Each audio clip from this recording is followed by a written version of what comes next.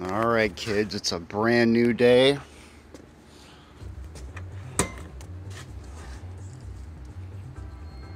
Hey there, hi there, ho there, come and join my jamboree. M I C K E Y M O U S E. All right. I think today, uh, we're still working on that pin 2 order, aren't we? Yeah.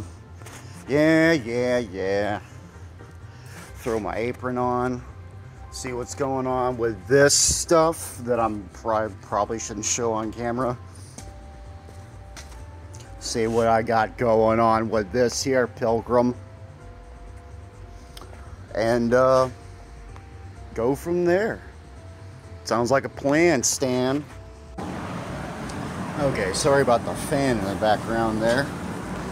But uh, I don't know how much time I got to do this today. So we're going to be going through uh, just a couple of, just some routine stuff here.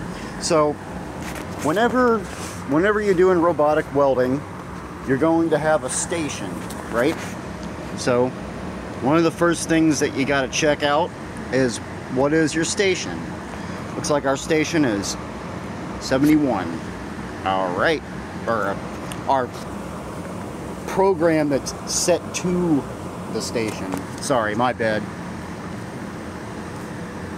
Still not really used to this whole tutorial nonsense. So this is actually a program that I was making with a um, uh, that I was making with someone who is interested in, in doing some uh, doing some robotic welding, and uh, I've made this program as sort of a demonstrational. So what we're gonna do is um, we're gonna take a look at how this program functions. You know, make sure that it's still good, and then we're gonna go through and uh, plot out some new points and essentially make a new program from scratch. Isn't that gonna be fun? What do you think? Think it's gonna be fun? What do you think? You son of a bitch! You piece of Okie dokie, Smokey. So, we're ready to go. So, first thing that you want to do, you want to make sure that you're in playback mode, which we are. Check that out. I wonder what that kanji means. Hmm. I know one of those is the kanji for love. Something. I don't know. I'm not gonna I'm not gonna think about it too hard. So got our motor on. That's our start button. But we gotta make sure. Ah, yes. We gotta make sure that the teach pendant is in playback mode. Alright. Looks like we're pretty much ready to go.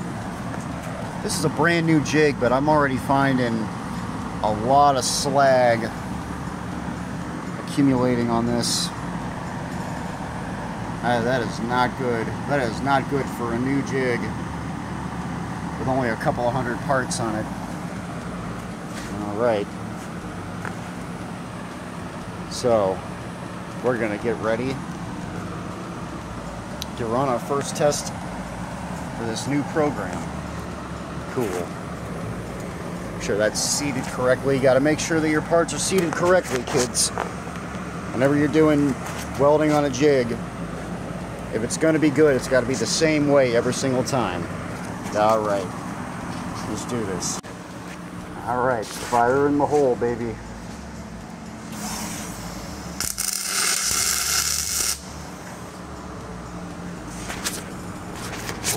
How did it turn out? Dude, hell yeah. That looks great. Yeah, it's a little warbly on the bottom, but you know what? That's the first weld of the day. You gotta prime your welders, man. Even if it's a robotic welder, you gotta make sure you prime your welders there, buckaroony.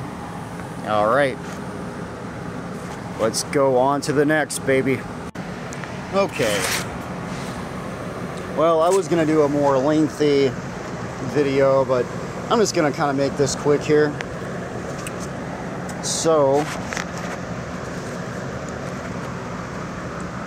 hang on a second. I gotta, I gotta gotta turn the motor on. Gotta get your motor running, baby. It's like Steppenwolf. Yeah, unfortunately. Yeah. Yeah. See, this is one of the main reasons why I haven't tried to do this. Uh,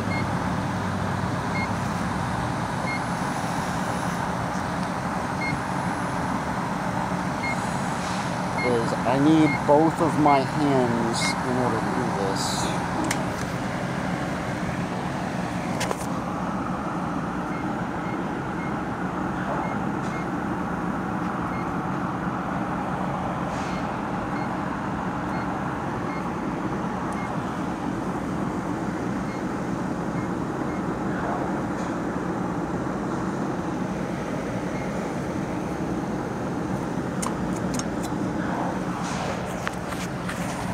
All right, so see how close that is right there? So normally we would use a teach pendant, uh, uh, excuse me, uh, teach tip, not a teach, this is the teach pendant right here. Um, normally we would use a teach tip to uh, teach these points, but because I've already figured out what my approach is uh, initially with this uh, with this first with this first one right here, um, I can roughly figure out what my approach needs to be when I teach the rest of these. Uh, but for right now, we're just going to we're just going to teach this one, and I'm probably going to do that off camera. And, uh, and I'll demonstrate a little bit how that goes. Um, I guess before I go off camera here, let's take a look at our arc conditions. We use arc condition file number one. And that's roughly what we're working with here. 23 volts, 187 amps, uh, 100 inches per minute. Find that.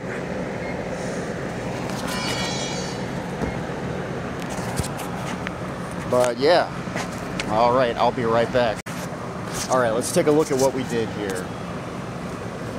Like I said, I, I really wish that I could, if I, if I had somewhere to put this damn phone down, I suppose I could always put it down there or something. But uh, basically, we created four uh, circle interpolations.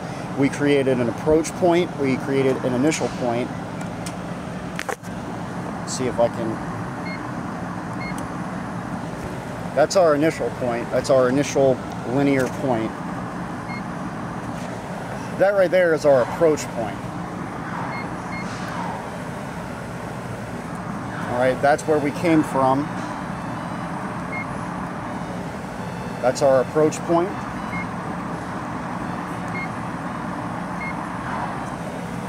Then we got a point right there. Got a point right there.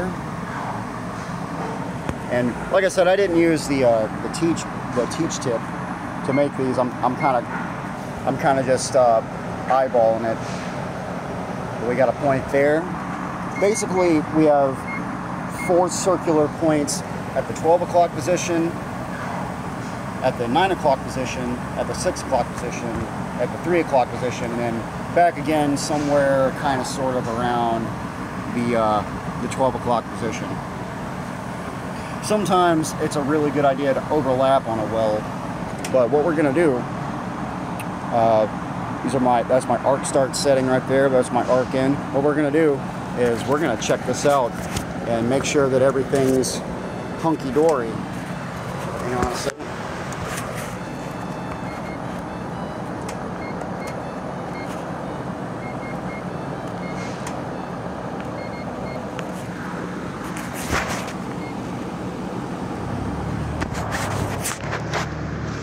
Okay. So in our little special menu here, we have a check weld option. We're gonna go ahead and hit that. All right, so the check weld option is on. You can hear that beeping. That means that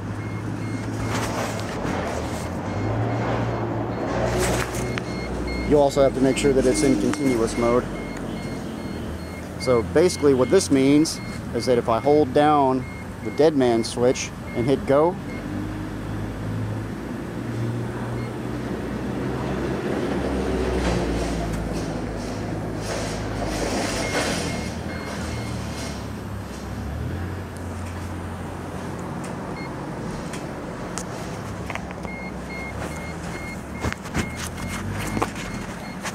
gotta change my hands around. See, you see why I don't really make videos very much?